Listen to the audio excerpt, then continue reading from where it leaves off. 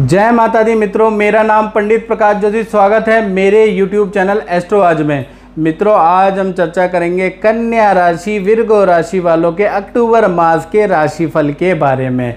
कैसी होगी उनके स्वास्थ्य की स्थिति, उनके धन की स्थिति, उनकी संतान, उनके परिवार, उनके प्रेम, उनके दाम्पत्य, उनकी नौकरी, उनके व्यापार और इस कार्यक्रम में आप जैसा जानते हैं, डिटेल में मित्रों चर्चा होगी।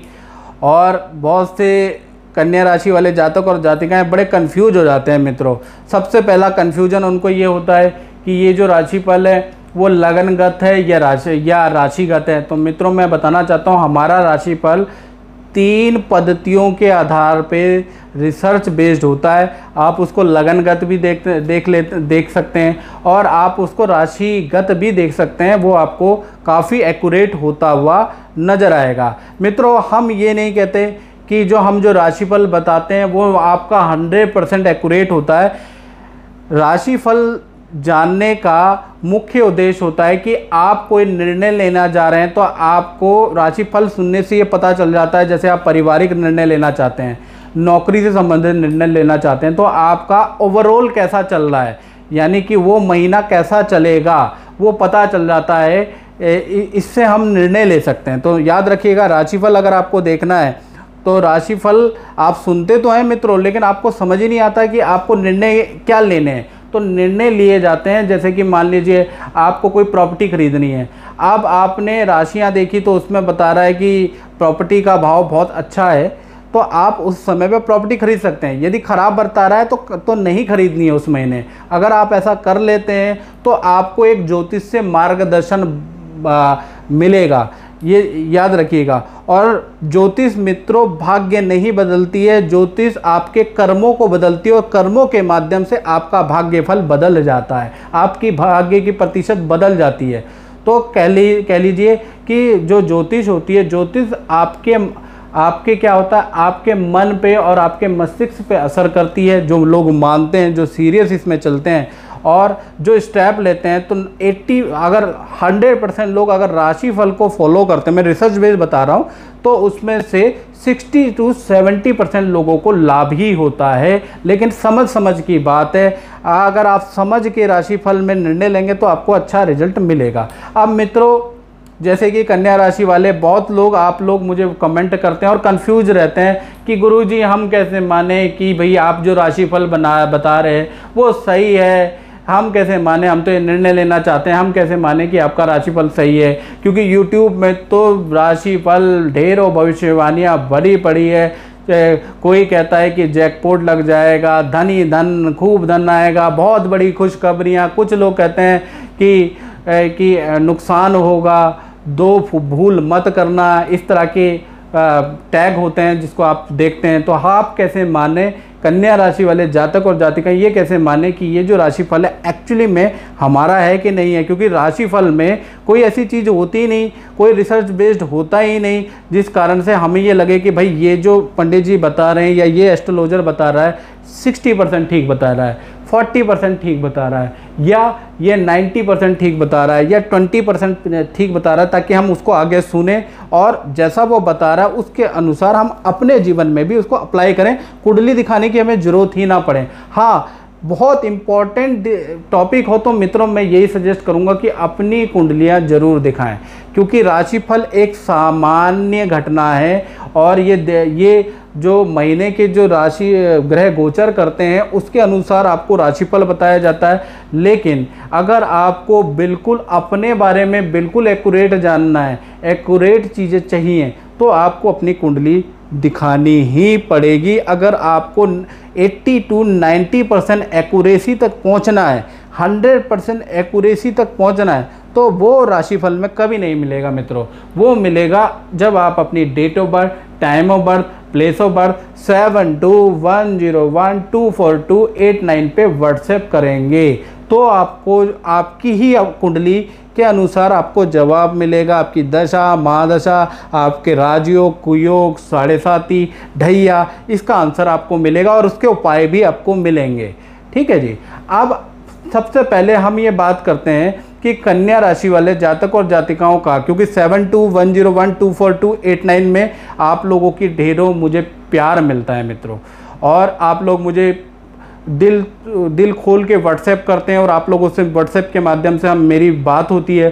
तो सितंबर के महीने में जो कन्या राशि वाले जातक और जातिकाएँ उनके साथ में बहुत सारी घटनाएँ हुई। उसमें से मैं कुछ पाँच चार घटनाओं पे प्रकाश डालना चाहूँगा ताकि आपको ये नज़र आ जाए कि वाकई में ये राशिफल एक्यूरेट है। देखिए, सितंबर में पहला कन्या राशि वाले जातक और जातिकाओं को किसी छोटी मोटी पार्टी में जाने का मौका मिला। ठीक है जी, पहला ये, हालाँकि अभी कोरोना वायरस चल रहा है, बड़ी पार्टी में नहीं जा सकते, फिर भी कन्या राशि वाले जातक छोटी मोटी पार्टी अटेंड उन्होंने करी है, या कहीं पर चले गए, वहाँ पर पार्टी हो रही थी, उसमें हिस्सा बन गए तो ऐसा कुछ घटनाएँ हुई। दूसरा किसी अपने की खुशखबरी आपको प्राप्त हुई। पहला चीज़ ये, या आपका कोई अपना अस्पताल से सकुशल ठीक बीमारी से लड़कर आया, ऐसा योग बन रहा है, या तो आपका दोस्त या आपके रिलेटिव में से कोई दूर किसी ना किसी बीमारी से लौट के आए।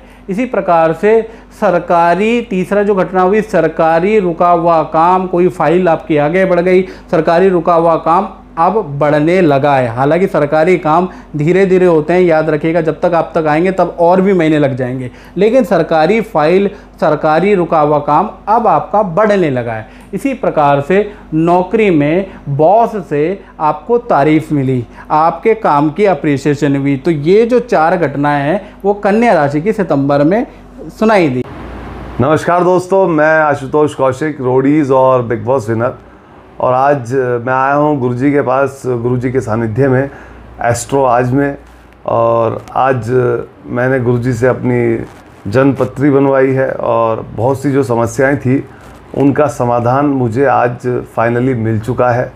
तो आपको भी अपनी लाइफ में कोई दिक्कत हो, परेशानी हो तो गुरुजी से एक बार सलाह अवश्य लें। ये मेरी पर्सनल राय है आपको, क्योंकि मुझे काफ़ी फ़ायदा हुआ है तो आपको भी होगा। थैंक यू अब बात कर लेते हैं अक्टूबर में कन्या राशि वालों के सबसे पहले स्वास्थ्य के बारे में। सबसे पहले एक से लेकर इकतीस तारीख तक स्वास्थ्य बहुत अच्छा रहने वाला है, क्योंकि कहीं ना कहीं कन्या राशि में सूर्य विराजमान है तो स्वास्थ्य बहुत अच्छा रहेगा और पूरा महीना आनंददायक रहेगा और 20 तारीख से लेकर और कहीं ना कहीं 31 तारीख तक पूजा पाठ अध्यात्म में आपका मन लगेगा। तो पूजा पाठ अध्यात्म भी करेंगे, ब्रह्मचर्य का पालन करेंगे। कहीं ना कहीं आपकी दिनचर्या अक्टूबर के महीने में तो बहुत बढ़िया होने वाली है। और योग एक्सरसाइज भी करेंगे कन्या राशि वाले, जो कि काफ़ी महीनों से की नहीं है आप करना स्टार्ट करेंगे। इसी प्रकार से धन की स्थिति की बात करें तो द्वितीय में कहीं ना कहीं बुध होने से और द्वितीय के स्वामी शुक्र हैं, जो कि कहीं ना कहीं व्यय भाव में जाने से आपको दो जगह से धन आपको प्राप्त होगा। पहला, आपको धन प्राप्त होगा नौकरी से ओबेसी बात है। दूसरा, जो आपने पार्ट टाइम इन्वेस्टमेंट की है, या पार्ट टाइम जो वर्क आप हल्का हल्का करते हैं, वहाँ से आपको धन प्राप्त होगा। यानी दो जगह से आपके धन प्राप्त होने के योग हैं। और साथ ही साथ धन तो आ रहा है मित्रों, लेकिन धन कोई ना कोई डिवाइस कोई ना कोई मशीनरी कोई ना कोई चीज़ आप अक्टूबर के महीने में खरीदने भी वाले हैं, ऐसा भी योग नज़र आया। अगर ऐसा है तो आप कमेंट में ज़रूर लिखें। इसी प्रकार से पारिवारिक स्थिति की बात करें तो परिवार में 15 तारीख से लेकर 30 तारीख तक पूजा पाठ, हवन, अनुष्ठान बना रहेगा। साथ ही साथ परिवार में कलेश की समाप्ति होगी। जो लंबे समय से कलेश चल रहा था, उसका की समाप्ति के योग भी नज़र आ रहे हैं। और कृषि या खेती की ज़मीन लेने से कन्या राशि वालों को फ़ायदा होगा। यदि कन्या राशि वाले जातक और जातिकाएँ कृषि करते हैं खेती करते हैं तो उन, उनका अब बुरे दिन ख़त्म हो गए, उनको कोई ना कोई फ़ायदा होने वाला है। और 15 अक्टूबर से लेकर 30 अक्टूबर के बीच में अच्छा फ़ायदा होगा। यदि बीज बोते हैं या कोई गुड़ाई करते हैं तो ये समय बहुत ही उत्तम रहेगा। इसी प्रकार से संतान के बारे में बात करें तो संतान के लिए ये जो महीना है, क्योंकि पंचमस्त शनि है और शनि पेट की प्रॉब्लम में ज़्यादा देता है तो कहीं ना कहीं संतान को अक्टूबर के महीने में पेट की प्रॉब्लम रहेगी, विद्या में उनका मन नहीं लगेगा, आलसपन रहेगा, यानी संतान की शिकायतें आपको अक्टूबर के महीने में सुनने को आएँगी। इसी प्रकार से अब नौकरी के बारे में बात कर लेते हैं। तो एक से लेकर पंद्रह तारीख तक अगर देखा जाए तो तो बहुत ज़्यादा परेशानी रहेगी। इनफैक्ट इतनी ज़्यादा बहस होगी। बॉस आपकी बहुत शिकायतें कंप्लेंट करेगा। इनफैक्ट आपकी नौकरी जाने के योग बनते हैं एक से लेकर पंद्रह तारीख तक। ठीक है जी? उसके बाद आपको 16 तारीख से लेकर 31 तारीख तक आपकी नौकरी में स्थिरता रहेगी। अगर ये 15 दिन आपके निकल जाते हैं मित्रों तो नौकरी में स्थिरता रहेगी। और लेकिन क्या है कि जो आपने मांगे रखी हैं, वो आपकी नकार दी जाएँगी। यानी कि नौकरी में ठीक ठाक सा रहेगा। यानी पंद्रह तारीख एक से लेकर पंद्रह तारीख तक तो ख़राब टाइम रहेगा। और 16 तारीख से लेकर 31 तारीख तक तो नौकरी सामान्य रहेगी, लेकिन आपकी कोई भी डिमांड को महत्व नहीं दिया जाएगा। हाँ एक चीज़ अच्छी होगी कि आपको कुछ ऑनलाइन सीखने की या ऑनलाइन क्लासें आप लेंगे या पार्ट टाइम काम आप शुरू कर देंगे धन कमाने के लिए ये चीज़ आपका अच्छा हो रहा है। साथ ही साथ आप दाम्पत्य जीवन की बात करें और प्रेमी और प्रेमिकाओं के बारे में बात करें तो प्रेमी और प्रेमिकाओं का अक्टूबर का महीना सामान्य ही रहने वाला है, सामान्य दायक है इसमें कोई इवेंट नहीं। पति पत्नी की बात करें तो पति पत्नी धार्मिक होने वाले हैं ये महीना। ठीक है, ब्रह्मचार्य का पालन करेंगे, व्रत का पालन करेंगे, घर में अनुष्ठान करेंगे पूजा पाठ करेंगे। तो पति और पत्नी के लिए भी ये महीना बड़ा धार्मिक होने वाला है। इसी प्रकार से व्यापार की बात, बारे में बात करें तो व्यापार भाव के स्वामी हैं बुध और बुध कहीं ना कहीं धनेश, धन भाव में बैठे हैं तो ग्राहकों का अक्टूबर में आना शुरू होगा। मोटे मोटे ग्राहकों का, छोटे वाले ग्राहक तो आ रहे हैं आपके पास, कन्या राशि वाले। लेकिन मोटे ऑर्डर वाले ग्राहक नहीं आ रहे, उनका आना अब शुरू होगा, नए काम की शुरुआत आपकी होगी।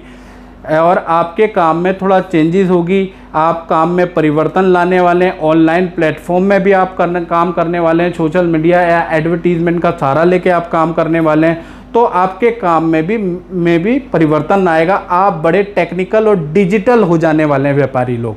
तो ऐसा योग नज़र आ रहा है। तो ये था अक्टूबर के महीने का कन्या राशि वालों का राशिफल। इस कार्यक्रम में मित्रों बस इतना ही।